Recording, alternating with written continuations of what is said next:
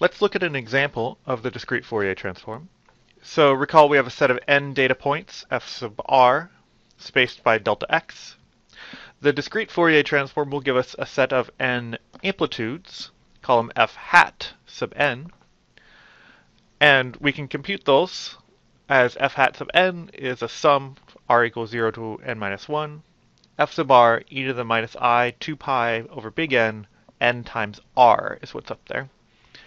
Uh, at and this gives us these amplitudes at various angular frequencies given by 2 pi over big N delta x times little n, whatever that little n value is. Let's consider a very simple example here. So let's look at f at 0 is 1, f at 2 is 4, f at 4 is 3, and f at 6 is 2.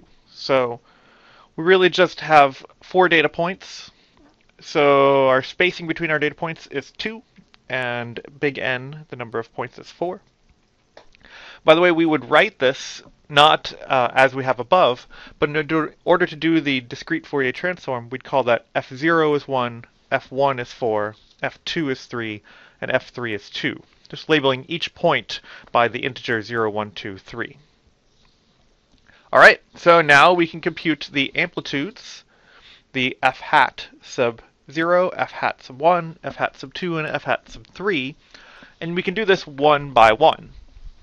So let's just start with f hat sub 1. So what does this mean?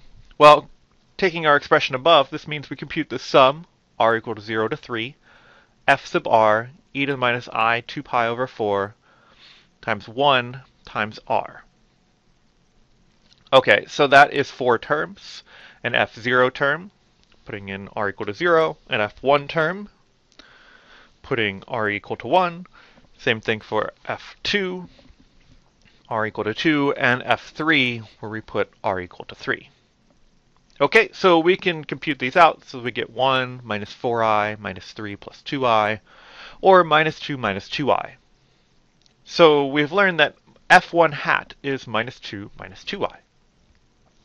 Okay, so we can do the same thing over and over again for the F0 hat, F2 hat, and F3 hat amplitudes.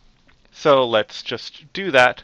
So F0 hat, the sum would look like this, the sum 0 to 3, and now there's a 0 in the exponent. I'm not going to do the math, but you should get 10. Should check that you get that. Same thing for f hat sub 2. Now there's a 2 up in the exponent and do some calculation, you get minus 2. And the same thing for f hat sub 3. Now we put a 3 up in the exponent for their sum, and you should get minus 2 plus 2i. Okay, so I just skipped all the calculations there, but that's what you would get when you do those sums. Okay, so summarizing our calculations, we started with a set of four points, four data points n equal to 4 with a spacing of 2.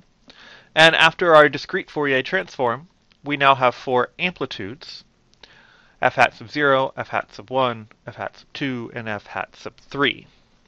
And we never needed delta x at this point. Okay, so that's what the discrete Fourier transform is. It just spits out a bunch of these numbers. Uh, but we need now to interpret this. So what does this mean? In particular, what does f hat sub 2 equal to minus 2 mean or represent? So we talked about how these are the amplitudes, and so f hat sub 2 is the amplitude of the angular frequency p, which is 2 pi over big N delta x times little n, where little n here is this 2, the subscript on f hat sub 2. So angular frequency pi over 2. That's what f hat sub 2 represents. So what about the amplitude of, say, f hat sub 1, which is minus 2 minus 2i? That's complex. And this is a general point, which is that the discrete Fourier transform is, in general, complex. And I mean that in more ways than one. So if we want to interpret the amplitude there, well, we obviously need to just take the absolute value. So let's take the absolute value of our amplitude, in particular the absolute value of f1. or that's f hat 1, f hat 1 star square rooted. Uh, and you should get two square roots of 2 there. Okay, so then this is the amplitude of the frequency given by p is 2 pi over big N delta x times n, and here is 1. So that's the amplitude of the frequency pi over 4. Okay, so you can do the same thing for the other ones.